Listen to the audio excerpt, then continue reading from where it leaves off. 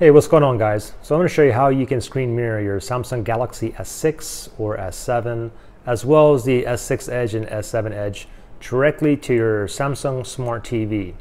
Okay, so first thing I want to note is a lot of you guys are probably on the screen right here, the screen mirroring screen. If I click on source on my remote here, you can see a setting here called screen mirroring.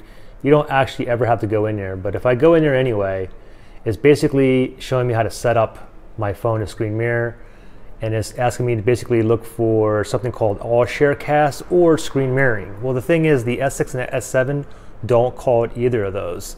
They call it Smart View. Now, if you have the Samsung Galaxy like S3, S4, S5, they call it screen mirroring, okay?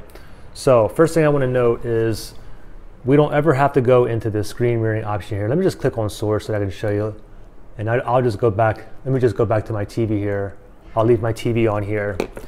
And this will be the first time I'll be connecting my S7 here. But let me just tell you really fast. If you have um, Android 6 and prior version, what you got to do is when you scroll down, you're going to have this little um, down arrow here. Click on that down arrow like that, and then basically look for Smart View. Okay, now if you just updated your S7 to the latest uh, Android 7.0, what you need to do is scroll down, and then instead of the, that little down arrow, you want to click, you want to um, grab these two little horizontal lines, just touch it and then drag it all the way down. And now you want to look for Smart View, but Smart View is not in here. Why? Because you have to swipe it to the left.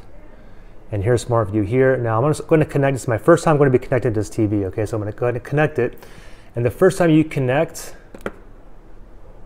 okay, so it did find this um, Samsung LED 40 inch TV here. So I'm gonna go ahead and click on that.